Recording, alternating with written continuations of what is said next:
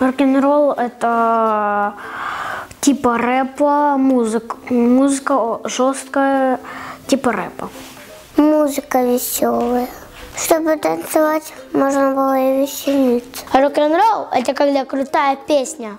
Рок-н-ролл – это когда все танцуют, и музыка сильно такая подвижная.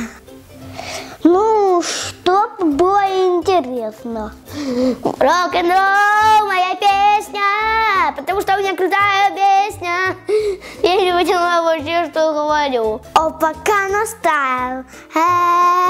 Со стены, э, э. Рок-н-ролл – это музыка автострадов. Не только автострадов, но еще и крутых людей. Поздравляю всех с Днем рок-н-ролла.